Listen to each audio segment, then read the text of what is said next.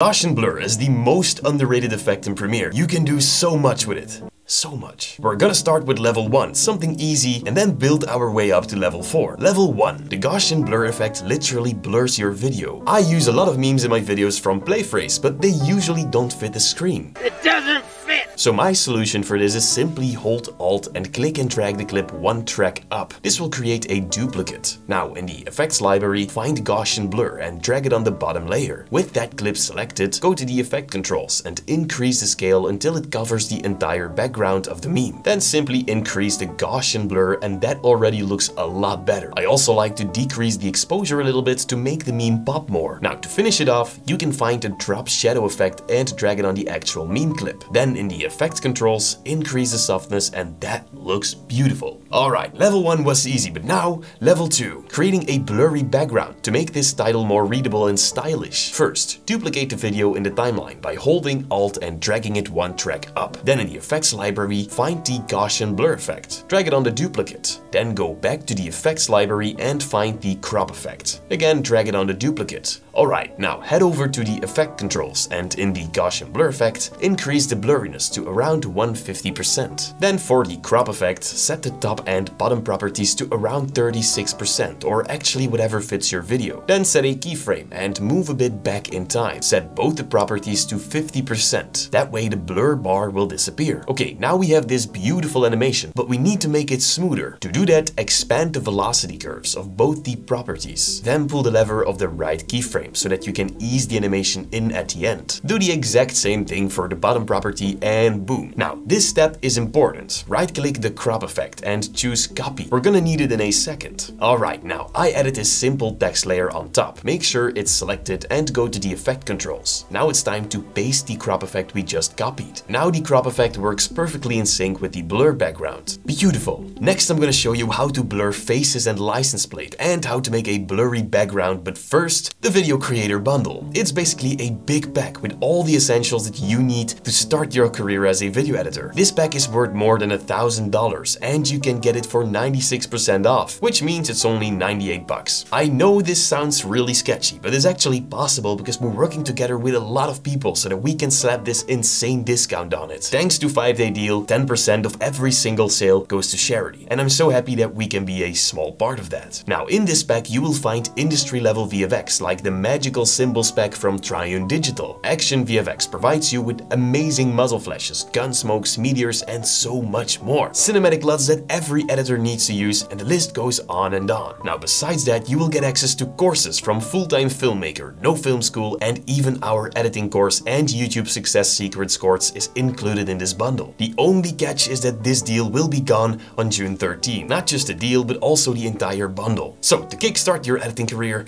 click the link right here. And now, let's get to level 3, blurring faces or license plates. To do this, find the Gaussian blur effect and drag it on your clip. Then make sure the clip is selected and head to the effect controls. First set the playhead to the first frame of the clip. Then before adjusting the blurriness, we're gonna track the person's face. Click the pen tool to create a mask and go to the program monitor. Then create a mask around this face. And when you're done, go back to the mask settings. Click the wrench tool and make sure preview is enabled. Then click the mask track forward button and wait until Premiere is done tracking your face. Now it's time to increase the blurriness and then play a little bit with the mask feather. There you go. You can do the exact same thing with car license plates or logos, basically anything trackable. It's time for level 4, making your background blurry. To do that, film yourself standing and then also create an empty shot. Now in Premiere, put the clip of you standing on top of the empty shot. Now select the top clip and head to the effect controls. Make sure the playhead is on the first frame of the clip. Click the pen tool to create a mask and go to the program monitor. In here, draw a mask around yourself. Try to make this as precise as you possibly can to make it look most realistic. When you're done, go to the mask properties and click the track mask forward button. Let Premiere do its thing until it's done. Next step, find the Gaussian blur effect and drag it on the empty shot underneath. Then in the effect controls, increase the blurriness so the background still looks natural. This looks amazing, but an even better way to do this is by using After Effects. Rotoscoping is so much easier and you can use the lens blur instead of the Gaussian blur. Anyway, really exciting,